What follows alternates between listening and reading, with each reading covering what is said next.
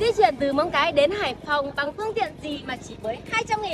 Hãy cùng Vân Vân đi trải nghiệm nha!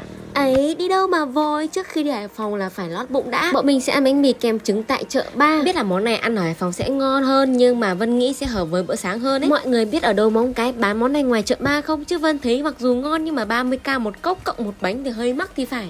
Lần thứ N trải nghiệm xe Hoàng Công sẽ như thế nào?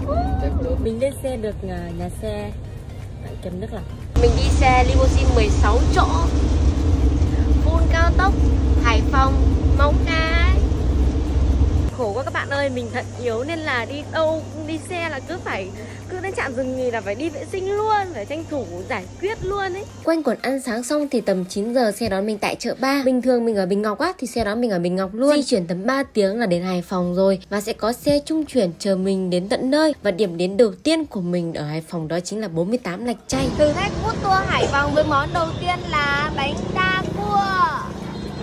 Cà phê Cà phê cốt dừa cô Hạnh thì có rất nhiều chi nhánh. Ngoài cà phê cốt dừa ra còn có món dừa dầm kem chi Ăn siêu ngậy siêu cuốn luôn. Đầu tiên trải nghiệm trà hoa cúc tại Hải Phòng.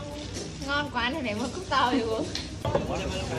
Bánh mì cái Hải Phòng nha cả nhà đã ăn là phải có chơi, có chụp hình chứ nhở? Mình đi qua những điểm cơ bản như là ga Hải Phòng, nhà hát thành phố, bưu điện, cầu Hoàng Văn Thụ, ngân hàng nhà nước. Còn những địa điểm ở sang khác thì mình cũng đã đi rồi, hoặc là để dịp sau đi nha. Thử thách 12 giờ ăn trưa Hải Phòng xin kết thúc tại đây. Sáng 9 giờ đi thì tối 21 giờ có mặt ở Móng Cái rồi. Tổng kết chuyến đi nhanh gọn, kiểu thèm đồ ăn Hải Phòng cái là bắt xe đi luôn. Đi Hải Phòng bây giờ quá tiện, quá nhanh, quá là rẻ. Chỉ 200 cảnh cho 3 tiếng là tới nơi. Xong kiểu 30 phút lại có hai chuyến thế này đi Hải Phòng như cơm bữa thôi. Mình qua trạm dừng chân của Hoàng Công để mua đồ ăn vặt cho chuyến xe của mình nhá.